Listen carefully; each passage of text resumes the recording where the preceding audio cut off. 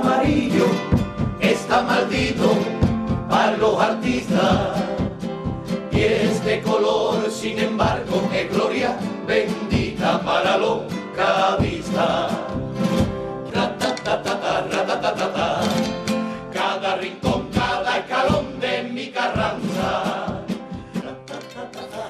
Hola, ¿qué tal? Nuestra más cordial bienvenida, como siempre, a esta hora les saludamos desde la mesa del submarino amarillo, desde este plató para analizar lo que es a estas alturas de la semana ya una previa de un nuevo partido.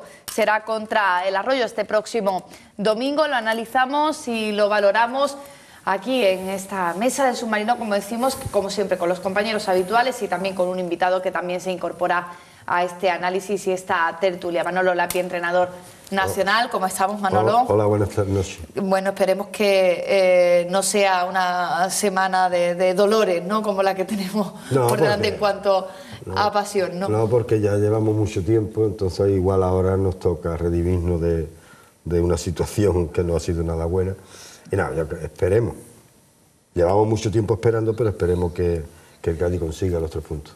Desde luego, esperemos que no suframos mucho y consigamos, bueno, pues eh, enderezar el rumbo sumando de nuevo puntos después de esa victoria de la semana pasada. Hugo, ¿qué tal? ¿Cómo estamos? Muy bien, muy bien. ¿Sí? ¿Ya, tiene la, ¿Ya tiene la túnica del capirote o, o no? Mm, no, no, no. Yo soy católico, apostólico, romano, pero ya la de Semana Santa no.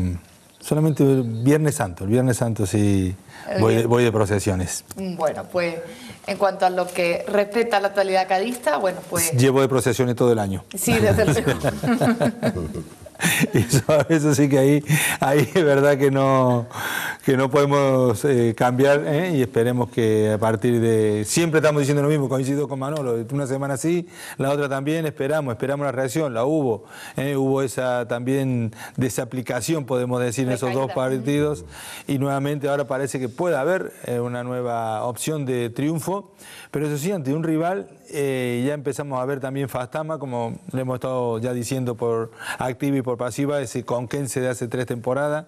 eh, eh, parece que el equipo del Arroyo, un equipo de Arroyo de la Luz, una localidad de, tendrá, no sé, mm, 2.000 habitantes o menos, no sé lo que habrá, y, que justamente nos saque los colores a un equipo como el Cádiz Club de Fútbol. Esperemos que con este nuevo Cádiz de Raúl Agné el- no suceda eso y no hay que hablar de revancha, no hay que hablar de revanchismo, pienso que eso es malo para cuando vas con esa intención, simplemente imponer tu, tu fútbol, imponerte tú al equipo rival y ya está, y conseguir los tres puntos. Bueno, y resarcirnos en parte de, de lo que dolió, ¿no? El, el resultado es la ida y también la eliminación de Copa. Antonio, ¿qué tal?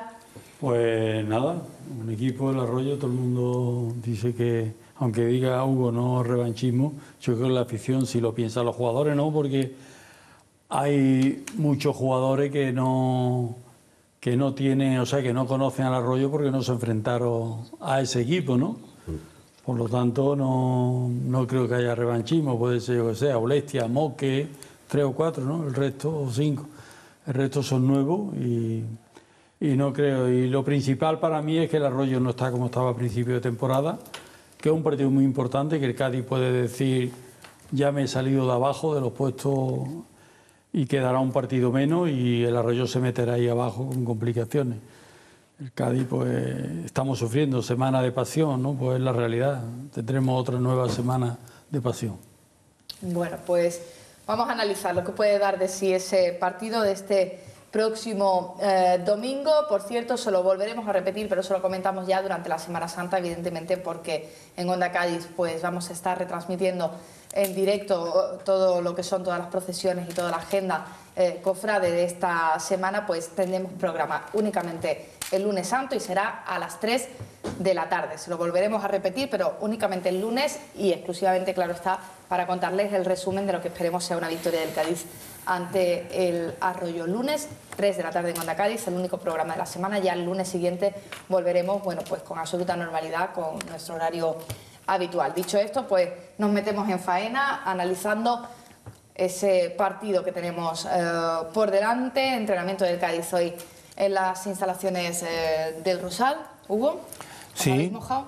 Un poquito, ¿no? La verdad que tuvimos eh, una... mm, Bueno, llegamos muy justo a las diez y media de la mañana.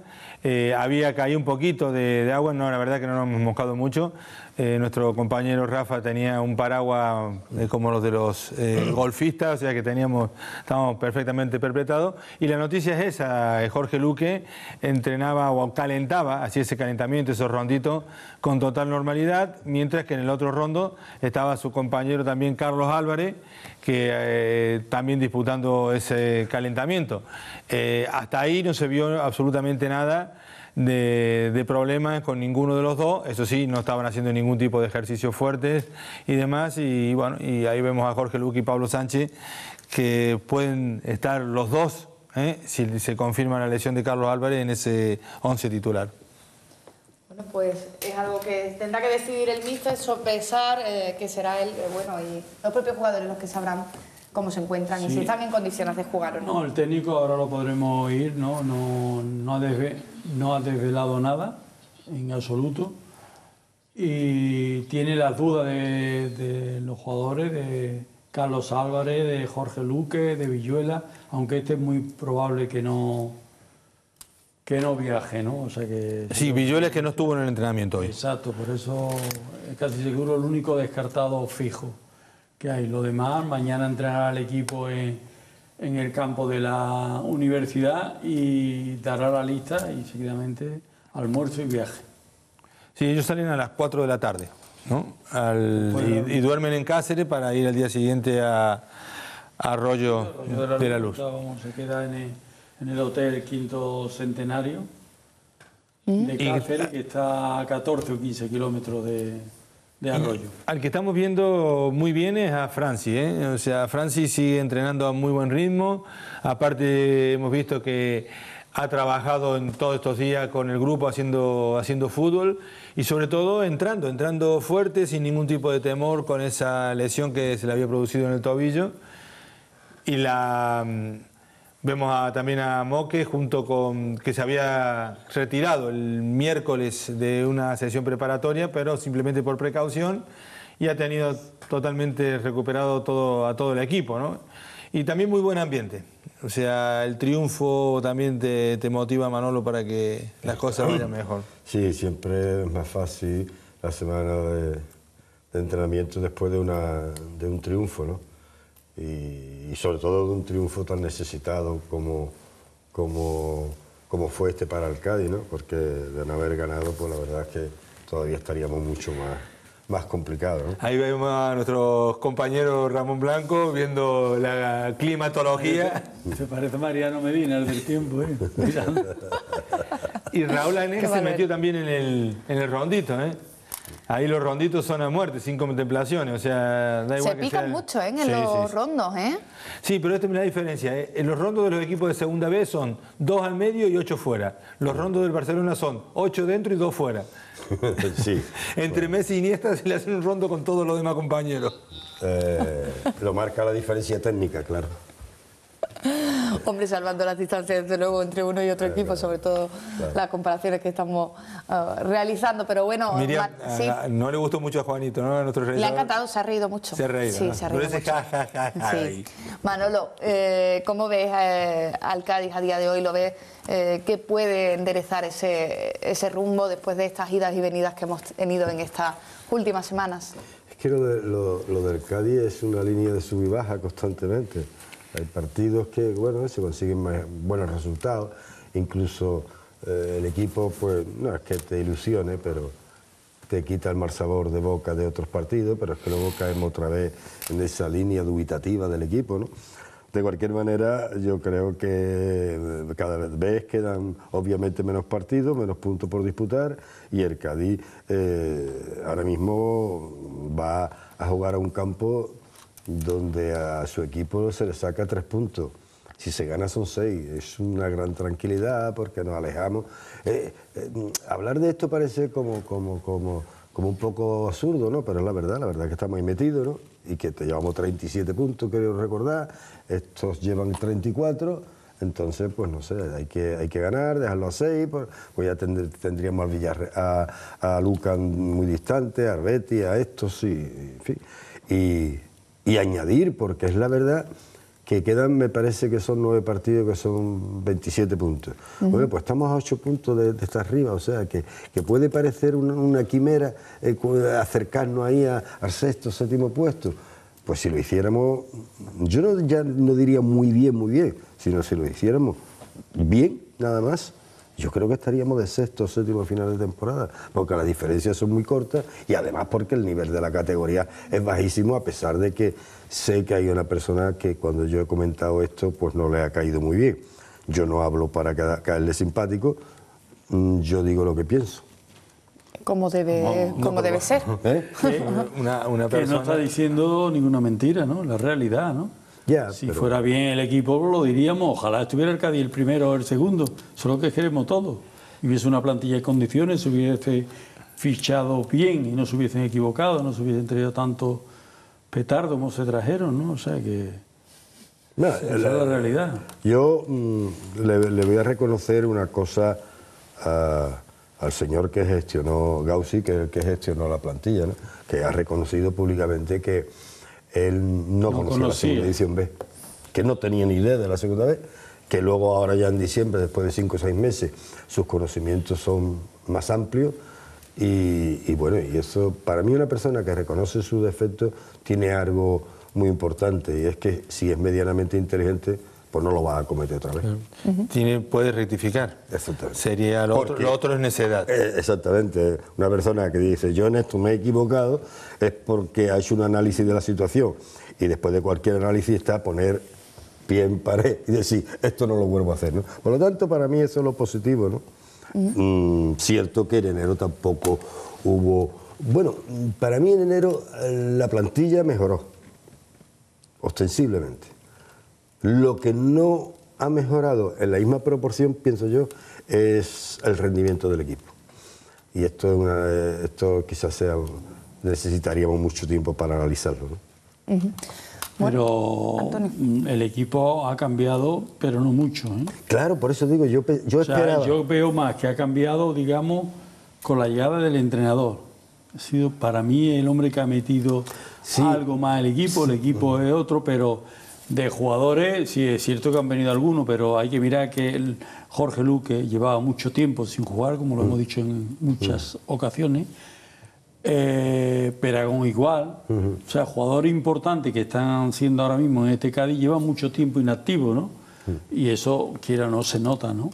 A lo mejor Sí. los últimos partidos están a un nivel mucho más alto y es porque está cogiendo ese ritmo que dan los partidos. O sea, la realidad, que ahora la plantilla ha mejorado, por supuesto que ha mejorado, pero la realidad es que estamos a tres puntos de ahí abajo. Esa es la realidad.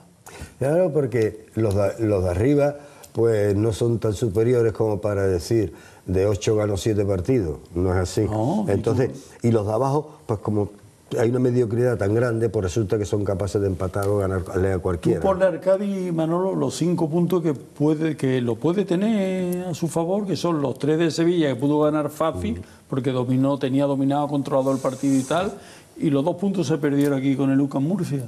Esos cinco puntos y estaría Arcadi ahora a tres puntos. Claro, por eso te digo que, que- O sea, que no hay que irse a otros partidos ni nada. Sí, pero eso te lo da la, la mediocridad de la, de la- De- del grupo. grupo. del grupo cuarto y bueno, pero en definitiva lo que sí es verdad que el Cádiz no está rindiendo como se lo esperaba, ni como lo esperaba Gauchi, ni como lo esperaba ninguno de los consejeros actuales de la entidad y mucho menos también como los técnicos. Entonces, eh, realmente eh, hay que, han hecho un examen de conciencia. Lo que está claro es que ellos asumen su, su parte de, de- de culpa, ya no es responsabilidad, ya es culpabilidad. Eso es indiscutible por el hecho más demostrado que han reconocido. Eh, la culpa es que han traído seis jugadores nuevos. O sea, que eso es el hecho más evidente. A mí no hace falta que me digan, oye, sí, me he equivocado. A mí me hace falta que rectifiquen. Entonces ellos han demostrado que se han equivocado. Sí, hechos. Porque muchas veces decimos unas cosas de boquilla y luego todo sigue igual. Los hechos son los que realmente te demuestran cuando uno eh, tiene esa intención. Yo, Porque de, pa- de palabras todos somos unos fenómenos, nos perdonamos, todas estas cosas, y después volvemos a reincidir en las mismas cosas. Entonces, ¿para qué otra vez perdón? No. Tú tienes que cambiar con tus actos eh, lograr ese perdón. Y en esta gente se han- con esos actos ellos han considerado que, y han demostrado claramente que se han equivocado y que ahora hay que mirar para otro lado y que mirar para adelante. yo creo que eh, el domingo último, ¿no? el último partido en Carranza, ¿no? Eh, la verdad es que estuve mm, pendiente casi en exclusividad de lo que hacían los jugadores del Cádiz. Mm, eh, cuando perdí el Cádiz el balón, que fueron muchas veces, pues yo estaba pendiente de los movimientos de los jugadores del Cádiz para recuperar balón. O sea, estuve, estuve mm, que no, no, vi ni lo que hacían el, cazareño, ¿no? Pues me, me, centré más, ¿no? Y entonces yo a mí me, quiso parecer que, los jugadores del Cádiz es que eh, no intentan las cosas porque no están seguros de conseguirlas. Es decir, eh, eh, cuando tienen que driblar a un adversario no son capaces de, intentarlo por miedo a fracasar, no sé si una cosa psíquica, no sé lo que será. Luego tienen un compañero a dos metros y no es capaz de darle un compañero a dos metros porque o, no está seguro de darle el balón bien o no está seguro de que eh, el compañero lo recesione de la forma adecuada. Yo mm, creo que, el equipo mm, es mejor de lo que está demostrando. No voy a decir que, una plantilla excelente, ni muchísimo menos. Si se quiere, ni buena. Mm, tengo que decir ya que el equipo está jugando mal. A mí no me está gustando lo que está haciendo el equipo. Pero yo creo que es una falta de confianza en, los jugadores, en ellos mismos y hacia, y hacia los compañeros, que es los que le, está llevando al equipo a, no tomar determinaciones lógicas en el fútbol. Hubo un balón que tenían que haberlo jugado en una salida por, por, banda derecha de, Aitor, que por cierto me gustó. Para mí fue uno de los mm. mejores jugadores el domingo, ¿no? Eh, ya, ya en los últimos minutos, cuando estaba jugando de lateral derecho, que Moque pasó al centro del campo, y, tenía la, toda, la, toda una claridad impresionante en, jugar el balón con, con Moque, que se le había acercado, y, pegó un pelotazo allí. No sé. El también eh, el primer tiempo estuvo eh, de, imprecisiones, las que no hay escrito, unas pérdidas de balones, demasiado pérdida de balones, y esto te hace Muchísimo que el equipo corra más y que corra mal. Más y mal. Se desgasta, evidentemente. Vamos a preguntarle a Raúl Arné, como cada viernes también habla en la previa del partido, así que vamos a escuchar atentamente lo que decía el entrenador del Cádiz. No, y Villuela, pues claro, le pilla ahí todo el nervio ciático que le, le tiene bastante paralizado y no creo yo que se recupere, pero... A ver, no soy doctor, faltan todavía 48 horas, igual mañana viene mejor, no sé, igual me he precipitado. Pero tanto él como Carlos, como Luque, esperaremos hasta mañana. No tener a todo el mundo en condiciones siempre te, te, condiciona. Pero yo siempre digo lo mismo, no soy una persona de excusas. Si llegan, perfecto, y si no llegan, pues pondremos a otros. No, no volvernos locos, sabemos que a día de hoy es un rival directo, que si le ganamos, nosotros nos distanciamos de ahí abajo, yo creo bastante, o luego habrá que ver lo que pasa con los otros resultados y que ese rival le dejaremos pues ahí ya seis puntos. Que ellos nos van a intentar marcar el territorio, eso es evidente. Que ellos están en una situación pues que llevan mucho tiempo que no consiguen ganar partidos, que, les cuesta hacer gol y que saben que a día de hoy somos el rival justo que está por encima suyo. ¿no? Si es para hombres o no, no lo sé. Lo que sí que sé que es para competir. El fútbol está lleno de tópicos. Yo he golpeado primero y me han remontado y los partidos, ah, cuando acaban, decimos. Lo que está claro es que si tú te pones por delante, van pasando los minutos y el rival tiene que, proponer más cosas. Y está claro que se abren más espacios. Pero a los partidos hay que competirlos según vienen. Los jugadores, pues supongo que lo tendrán presente. Pero creo que tendrán más presente que lo importante son los tres puntos. Se llame el Arroyo porque me ha metido cinco, o se llame el Cacereño o el Cartagena. Un rival duro, un rival duro que por desgracia siempre que vamos a campos así vienen de perder, que eso les, hace más duro, que su segundo partido en casa, que va a ser muy agresivo, que va a ser muy directo, que va a aprovechar todos los balones parados que se den. Nosotros, ah, sea Belencoso quien sea, Peragón, Villar, Carlos, tienen mucho potencial aéreo también, aunque no lo parezca. Sí, malo. De hierba artificial, que bota mucho, parece un conejo el balón. Y en estos campos lo más importante es el primer control. Si el primer control no lo haces bueno, no acomodas el balón y cuesta jugar.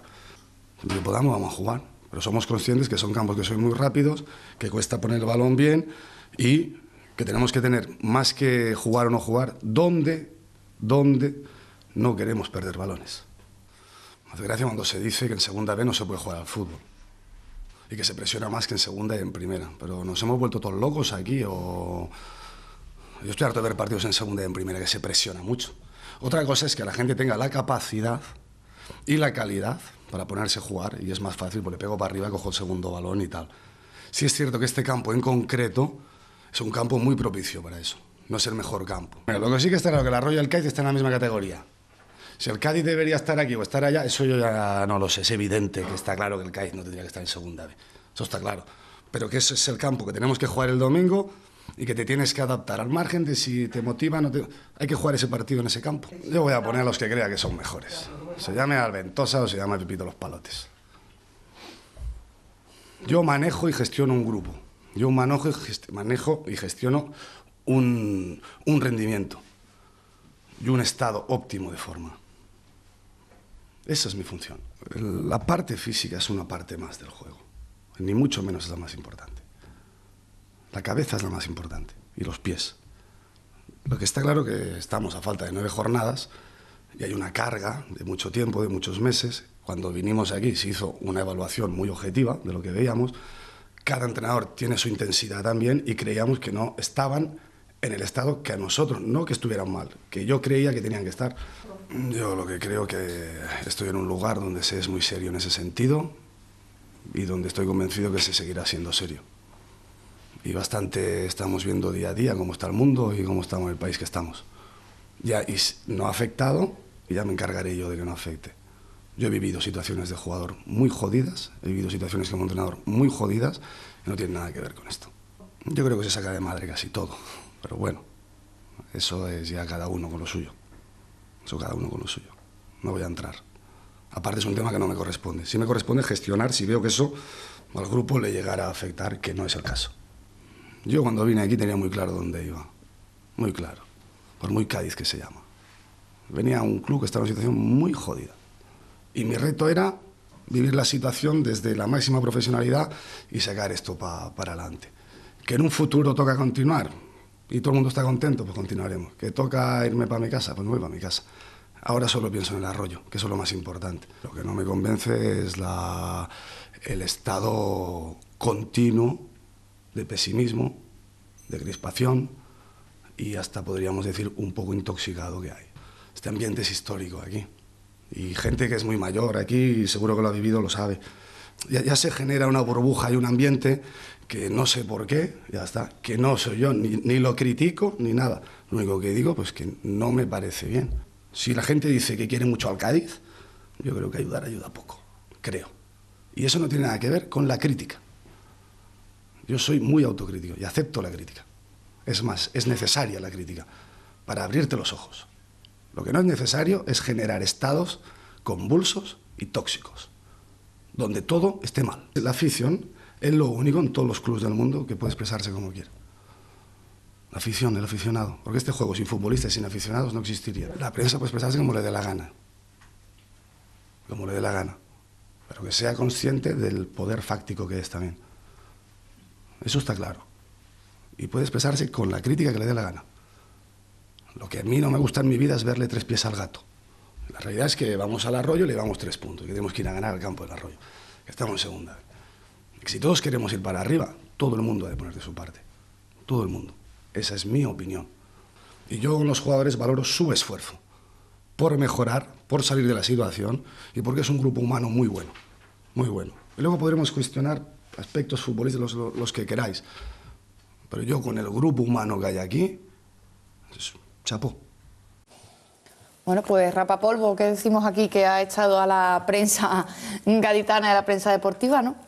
Bueno, en general ha hablado de todo, no solamente de la prensa, la prensa le ha dado su también. Y el ambiente, sí. Eh, él dice chapó no, a, a, los futbolistas y al grupo humano. A la afición yo digo, la salva, ¿eh? Yo digo chapó a las palabras de Raulane. A la afición la salva, ¿eh? No, no, chapó a las no... palabras de Raulane. Yo suscribo de la primera hasta la última. Ah. Eh, hablando de. No, no, de, pero bueno, de yo, yo, a él se lo he dicho y yo, cosa que estoy de acuerdo y además se lo he comentado allí incluso a los compañeros Pero la prensa no tiene culpa que el Cádiz esté ahí abajo. No, ni mucho menos. No tiene. Él no- él no le ha hecho que la hayan culpa. fichado los petazos. Él- que han él- fichado. él- él no le que ha hecho- echarle la culpa a quien lo tiene. Él ¿eh? no le ha hecho la culpa a la prensa. no prensa. tiene- sí, sí, Él no le echa la culpa a la prensa Él no por entiende eso. la crispación que la prensa Exactamente, crea. eso- eso es otra crea. cosa, eso es pero otra cosa. Pero la crispación que se crea es consecuencia del estado de ánimo de todo y del equipo. El año pasado también había crispación y el equipo iba primero. No, pero el año pasado había crispación de determinadas personas con Vale, el señor vale, José González. vale, ¿no Eso es lo ya mismo? es diferente, pero no era todo. Es que ahora en la prensa todo ni dice que el ahora Cádiz es muy malo No. y no se equivoca. No, no, O sea, ahora la no son- prensa no tiene culpa. Él- Con todo él no habla- Mi respeto hacia tus palabras.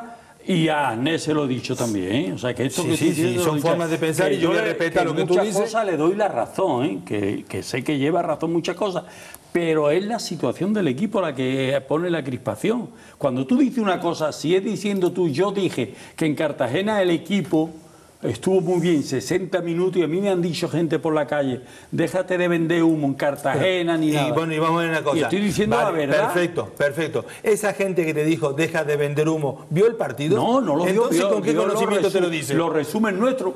¿Con qué? Entonces, nosotros es la sacamos lo afición, mejor. Yo la respeto, me dice eso. Yo Pero bueno, pero bueno, una cosa es respetar. Cádiz jugó muy bien. Antonio, una cosa es respetar a la afición y respetar a todo el mundo, porque eso partimos de esa base desde el respeto. No, no, y, Todas las y cosas Raúl pero yo no puedo. con sumo respeto. Yo no puedo compartir que una persona me diga que el equipo jugó muy mal en un determinado, que lo estoy viendo yo y él no lo ha visto y me quiere a mí discutir y decir lo que yo lo que no se ha visto No, por no- boca de otras pero personas. Yo no voy a entrar en una discusión. con una Exactamente, entonces por digo, yo puedo respetar, pero no voy a compartir ese comentario. Porque no me parece lógico, porque aparte que no tiene, no tiene argumentos. Pero, pero Hugo, a lo largo de esta temporada, tú haces un análisis y no hay nada positivo. Hay que feo un radio, hay que decir la es- que nada positivo, ya lo ni hemos debatido. institucionalmente ni en lo deportivo. Ya lo hemos debatido. Desgraciadamente, así, Esto está- desde que ha llegado Raúl Arnés, lo vuelvo a decir, ha cambiado algo esto. Y determinados jugadores, el carácter que le ha dado al equipo Raúl Arnés, eso le hacía falta y es verdad, y lo está sacando Pero, de ahí. Antonio. Lo que él dice que estaba en una situación muy mala al equipo es verdad. O sea, él no está mintiendo en nada, lo que dice todo es verdad. Pero la prensa no tiene culpa. Si, yo, si no le está echando la culpa la- de la situación del equipo. A la él, no, él no ha echado la culpa. Yo la palabra que he desprendido de Raúl Agné La es que a la, que a la crea crispación. crispación. No, está claro que cada uno tiene que aguantar su vela, que Gauchi tiene que aguantar lo suyo, que Manzano tiene que aguantar lo suyo, y todo el mundo que ha hecho algo tiene que aguantar lo suyo, lo mismo que nosotros tenemos que aguantar lo nuestro. No podemos ir yéndonos por las tangentes. Lo que ha dicho Raúl Agné es simplemente la crispación. Él no echa la culpa a la prensa de que hablen mal del equipo. No, no, eso es problema de cada uno. Eso es problema de cada uno. Él lo que está diciendo, y con muchísima razón, No, porque esto aparte no es nuevo la en el fútbol. crispación que crea Claro, la prensa Es una cosa o hablar y otra cosa es medios. crear crispación. Y estar incidiendo siempre lo mismo en las cosas negativas, que si lleva 15 días sin cobrar, que si lleva... Nosotros tuvimos tres No, meses sin cobrar, ver, tres meses de- sin cobrar y subimos a primera división. Hoy, hoy le comentaba yo a Nacho, a José Grima, a todos los compañeros que estaban allí.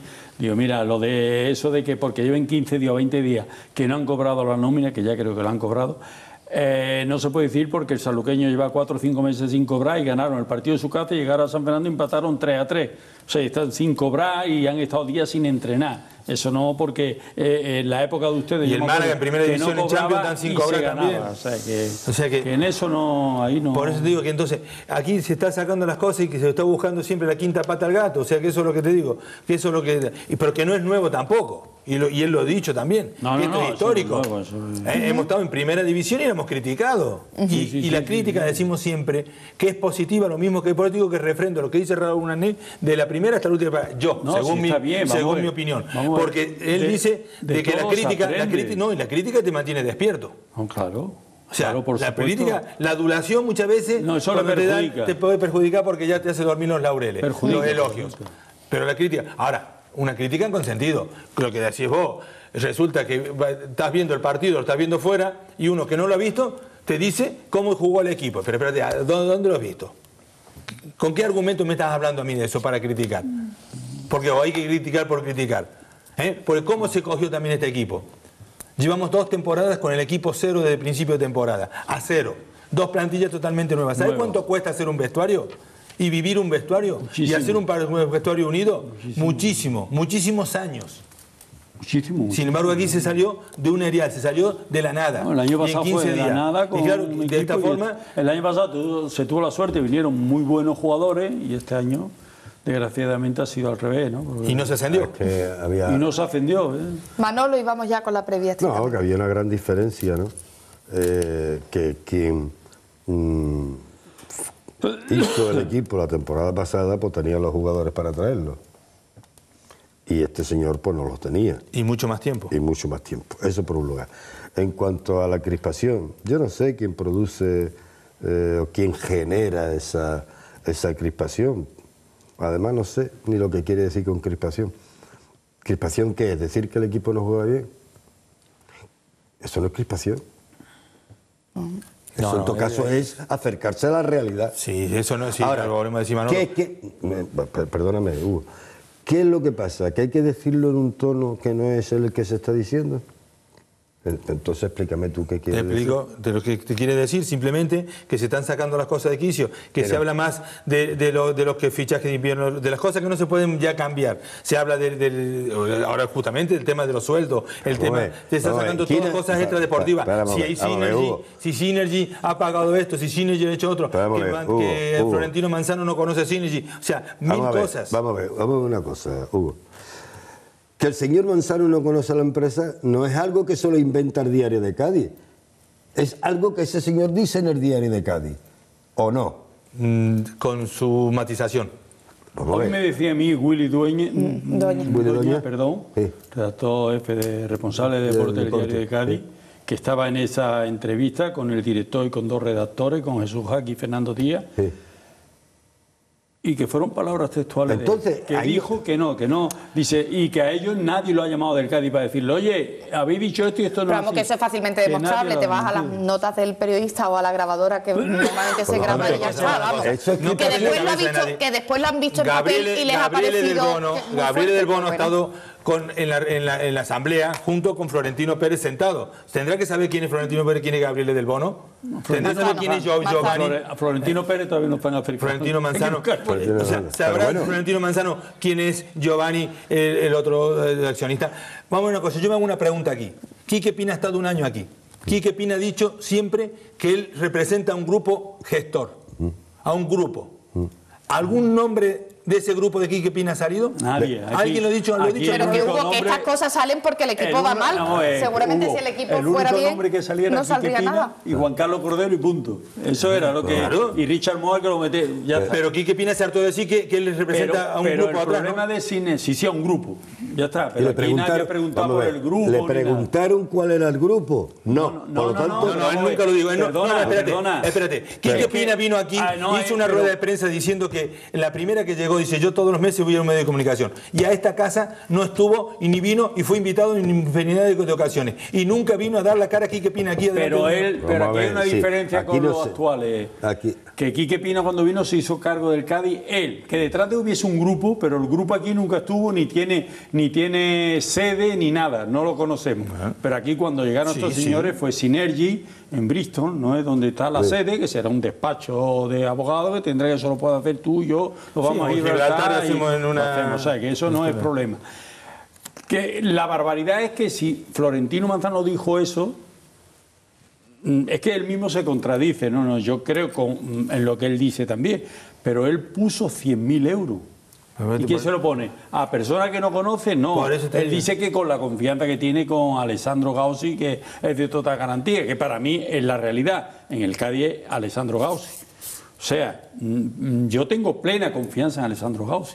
Yo sé que él desea sacar este proyecto adelante, pero sinceramente lo veo que le pueden fallar lo que hay detrás. Ojalá no. No, le puede fallar, ¿no? Que son inversores y que miren por su dinero y por intereses. Y si ven que esto no, no tiene viabilidad, le lo siento por Alessandro Gauchi con toda la ilusión que tiene Sí, sí, Alessandro. sí, sí, sí, sí. Y eso es así. Vamos a la previa del partido porque, bueno, aunque eh, el debate puede dar muchísimo de sí, pero eh, lo cierto es que es viernes y tenemos que contarles, eh, bueno, pues todo lo que podría pasar. El domingo, empezando por otras declaraciones de un protagonista, Belén Coso, que hablaba, sienta la posibilidad de jugar este domingo. Sí, está claro que va a ser un partido de eso, ¿no? Es un partido aguerrido, fuerte, va a haber, va a haber lucha, es un campo que, como bien sabéis, está fatal en el sentido de que no se puede jugar un buen fútbol, por lo tanto va a ser mucho de balón aéreo y, y bueno, si me toca pues intentaré hacer lo mejor posible y ayudar al equipo en ese sentido, que yo ahí me encuentro cómodo y, y ojalá que se puedan conseguir los tres puntos porque el partido de este fin de semana es importantísimo y, y podemos eh, salir de esa zona durante, en la que llevamos durante toda la temporada. Sí, la verdad que yo ahí no, no me encuentro cómodo, pero ya te digo, son cosas que, que tengo que hacer, que intentar trabajar, intentar mejorar y donde me toque jugar, pues, pues hacerlo de la mejor manera posible, pero está claro que, que mi zona es mi zona y todos lo sabéis y nada más que, que me queda que, que, seguir ayudando al equipo de la, de la manera que, que toque en cada partido. Hombre, yo está claro mis condiciones cuáles son. Eh, yo la, las tengo clarísimas y, y, es lo que hay, ¿no? Yo estoy aquí para, para ayudar. Eh, no me queda otra que, que seguir trabajando, o eh, pensar en lo colectivo, como bien te he dicho, y ojalá que, que sumemos cuantos más puntos posibles hasta fin de temporada sean pues mejor y, y no queda otra. Pues nada, yo tengo contrato, intentaré hacer todo lo posible para continuar aquí, creo que tengo posibilidades reales y opciones de, continuar. Me siento un tío y me considero un tío importante eh, y tengo que, que, seguir trabajando duro todos los días para, para, que eso sea posible y pueda continuar aquí porque para eso firmé dos años y para, para conseguir unos objetivos que, que de momento, por desgracia, no se están consiguiendo. Pues esperemos que sí que se consigan. Vamos a ver posibilidades de Belencoso y del resto de la plantilla en el titular de este domingo frente al Arroyo, así que vemos, os ponemos sobre el tapete las posibles alineaciones de ese Arroyo Cádiz.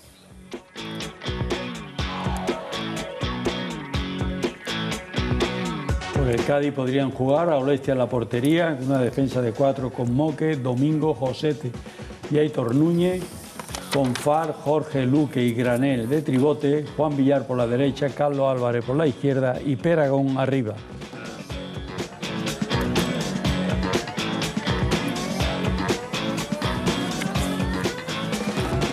Por parte del Arroyo Club Polideportivo, con Saber en la portería, esa línea de cuatro con Gutiérrez, Castaño, Fernández y Morilla, el doble pivote para Nauset y Lolo, la banda derecha para Ruana, la banda izquierda para Carlito, Edu Espadra podría entrar en el centro del campo ante la lesión de Alfaro y el, el escadista Iván Espada como referencia ofensiva. Pues son posibles aliaciones de uno y otro equipo. Vamos a ver lo que puede dar de sí. Esperemos que mucho por parte del Cádiz y las dudas, como no, le comentábamos al principio, de Luque y de Carlos la, Álvarez. Lo de Carlos Álvarez, aunque figure en la alineación, yo lo veo difícil que entre, que, porque hoy el míster lo comentaba eso y, y yo creo que, que, puede que entre Pablo Sánchez, incluso que entre en el equipo Belencoso. ¿eh? O sea, Belencoso tiene muchas posibilidades por el trabajo que han llevado a cabo hoy y, y lo que decía el jugador me da la impresión posiblemente influye, por el terreno de por juego el terreno de juego por el campo influye y, y puede que entre Belencoso de, de, referencia arriba no sé cómo lo hará si cambiará el sistema no lo sé no eso no sé lo que hará el míster Manolo no, ¿cómo lo ves tú? No, no tengo yo eh, conocimiento de entrenamiento y tal no de, yo entiendo que mmm, hay jugadores que, que están pidiendo eh, jugar y otros no tanto, ¿no? Y además incluso mmm, Carlos Álvarez cuando me lo meten en una banda a mí me parece que se pierde, se pierde, se pierde un poco, ¿no? Pero vamos, mejor conoce a los jugadores el entrenador, ¿no? Y quizá, estoy con Antonio, ¿no? Campo, igual, igual Belencoso lo mete arriba para que pelee un poquito los balones aéreos, siempre y cuando no caiga excesivamente a la no, Si mete a Belencoso, lo mete arriba, arriba o no. O sea, Belencoso cuando sale del área ya no, no se pierde. No, es que Belencoso es para jugar como referencia ofensiva. Cuando claro. no a querer jugar en el medio campo, eh, porque él hace un desgaste. Y él la lo dice, que... ¿no? Él lo dice en sus declaraciones. Él juega delantero centro. Claro, y ahora tiene pero que quizás otro trabajo porque si el míster le dice hay que ayudar, pues. Claro, pero que hay que saber ayudar. Posiblemente sí. ayude más fijando a dos hombres arriba claro. que viniendo a defender en el centro del campo, porque lo suyo no es defender en el centro no, del campo. Porque es que además después no tiene posibilidad, de eso. no tiene posibilidad de daño. llegar. Y además él se queda ahí y es lo que dice, fija los dos centrales. Claro. Y, y, entonces, pues no sé, a lo mejor lo hace y a Peragón lo mete un poco en banda, ¿no? Uh -huh. Que tampoco es extraño para este jugador verlo jugar en banda, claro. Sí. Y hablando del equipo rival, esperemos que no sea nuestra bestia negra de la temporada, pero lo cierto es que en los dos encuentros que hemos tenido con ellos ha habido derrotas, la primera de ida y después la eliminación en Aquí Copa. Arroyo, ¿Qué hay de diferencia? ¿Qué arroyo nos vamos a encontrar? Yo Ay. no lo- Un arroyo bastante crecido, Bastante con crecido tanta lluvia, el agua. como decíamos ayer. o Que sea, por cierto hay agua mañana y el Es que eh, el Arroyo cuando ganó aquí 2-5, ¿no? El Liga, Causó ¿no? una impresión Se metió tercero, ¿eh? Estaba Sí, tercero. sí, sí. estaba- Le dimos a la... El, el Arroyo también tener en cuenta que el centro de campo del equipo del Arroyo tiene a dos hombres, Nauset y Lolo, Sí. con 34 años cada uno. ¿eh? Claro, claro. Eh, Iván Espada también tiene 34 años. Abel Boada está lesionado. Eh, eh, Ruano, sin embargo, no está mayor, tiene unos 30 años, pero un equipo con mucha experiencia, un equipo que sabe jugar al fútbol, que sabe también contemporizar. Entonces, lo importante va a ser no encajar goles, porque eh, si te meten, tiene la mala suerte que te meten un gol. Es un equipo muy aguerrido, que se crece muchísimo.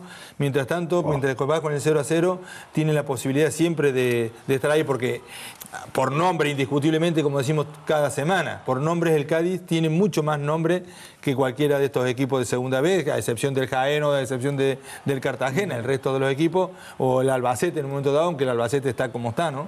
Que por cierto ya ha cambiado de entrenador y va a venir a, a Carranza con, con nuevo técnico, ¿no? Juan Pedro San, San Pietro, ¿no? Sí, sí. Arroyo que tiene más de 6.000 habitantes, ¿eh, Hugo? Más de Por- 6.000 por habitantes, ¿no? Pero bueno, 6.000 habitantes. Es una localidad pequeña, pequeñito. es, Sí, un po- hombre, es un poquito más grande que mi pueblo, donde nací Tiene, yo. que- tiene, tiene menos, menos socios que el Cádiz.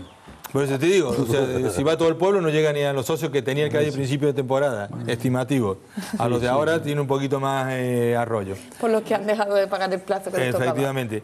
Y claro, eh, está la duda ahora quién juega en esa media punta, como segunda punta, porque Iván Espada no jugó el pasado fin de semana al estar suspendido. Que- Le sacaron la quinta tarjeta. Y también tenía algunas molestias y tal, pero se está recuperado Sí. bien, que puede entrar esta semana. Sí, eh, Iván. Y está Edu Espada. El hermano. No, no, no, no, tiene No, nada que son ver. hermanos, no tiene No, nada uno que es ver. espada y otro es espadas.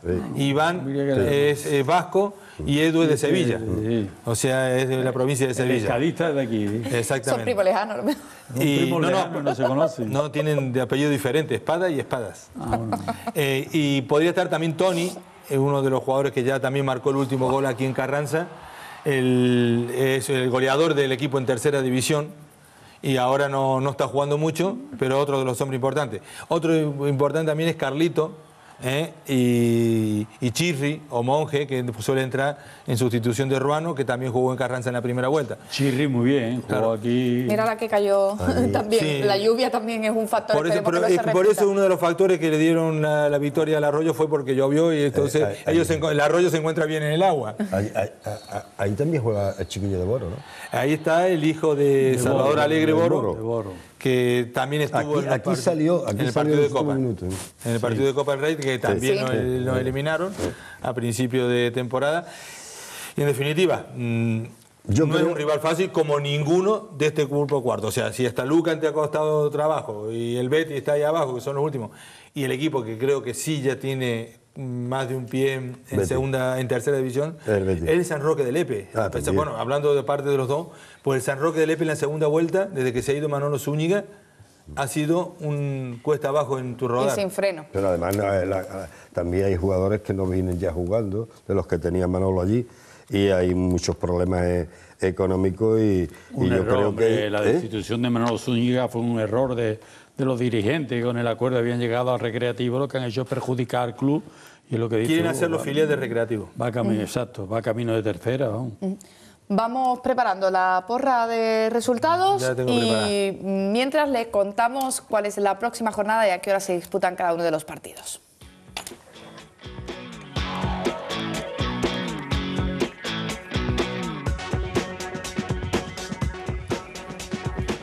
Esi Jaucan Murcia el sábado 17 horas. Sanluqueño Villanovense sábado 17 horas. Balón Almería B sábado 17 horas. San Roque de Lepe Jaén sábado 17 horas. Cartagena La Roda sábado 17 horas. Loja San Fernando el sábado a las 19 y 30 horas. Sevilla Melilla domingo 11 y 30 horas. Albacete Cacereño domingo 12 horas. Lucena Petibet domingo a las 12 horas y Arroyo Cádiz el domingo a las 5 de la tarde, el único partido a esa hora. Domingo de Ramos. Los horarios de la cantera, Ayamonte Cádiz B, sábado 16.30 horas, Taraguilla Cádiz Juvenil domingo 12 horas, Safa San Luis Balón Juvenil domingo a las 12, Portuense Balón B Cadete sábado 16 horas y La Salle Chiclana, Cádiz Infantil el sábado a las 12 horas. Y lo que nos queda ya pendiente y en lo que ustedes también pueden participar de aquí al domingo a las 5 de la tarde, nuestra porra de cada fin de semana. Así que participen con nosotros a través del correo electrónico, resultado y goleadores a submarino es, también si lo prefieren por Twitter y bueno, pues el que se acerque más al resultado tiene ese bono para dos personas, para el spa del Hotel Senator, para relajarse, un spa que ya saben que además tiene ofertas para los abonados, para quien presente su carnet del Cádiz Club de Fútbol. Nosotros también jugamos, así que vamos a dar nuestros resultados. Les adelanto ya nuestro compañero Juan de realización, 1 a 2, goles de Villar y de Peragón que, le ha quitado ahora el resultado a todo el mundo. A ver, Manolo Lápiz. Sí, yo tenía 1-2. Bueno, 1-2, dilo, dilo, no pasa nada. 1-2 con goles, de Juan Villar y Belencoso. Villar y Belencoso. Mm. Hugo Vaca. 1-2. 1-2. Fal. Fal. Y Luque de falta. Y Luque de falta. ¿Y Antonio Díaz? 0-3, bien cambiar. va a cambiar, va a cambiar, 0-3. Tenía 1-2 también, pero 0-3. Dos Belencoso y uno Villar. Dos Belencoso, uno Villar. Yo me abono al 0 a 2 por cambiar un poquito, ya que ya me he llevado el premio, voy a cambiar las tornas. Yo le doy a Peragón y a Villar. ¿Se te ve más relajada más desde que te ha ido al spa esta semana? Que yo me he ido al spa esta semana. no, no. Y no me lo desvele, que es una sorpresa. No hemos ido, no hemos ido. No hemos ido, no hemos ido al spa. Ah, es verdad que lo comentaste. Ay, calla, ladrón, que no se puede contar todo. Hay que ver ¿eh? cómo estamos aquí, hay que estar quite. Bueno, que nos tenemos que ir, que ir ya, que el lunes, insistimos, el lunes, por ser, bueno, pues lunes santo, estaremos a las 3 de la tarde con un programa más reducido para contarle, eso sí, el resumen de lo que esperemos sea una victoria eh, del Cádiz eh, ante el Arroyo. Manolo Lapi, a disfrutar de la Semana Santa y esperemos que a disfrutar también de, una victoria del Cádiz. Ojalá que el tiempo no lo permita. Desde luego. ¿A quién le toca viajar, Antonio?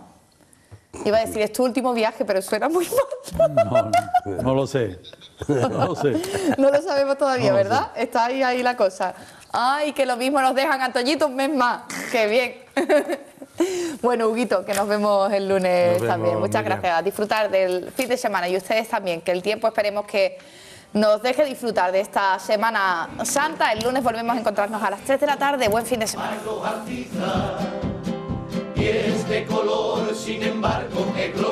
Bendita para.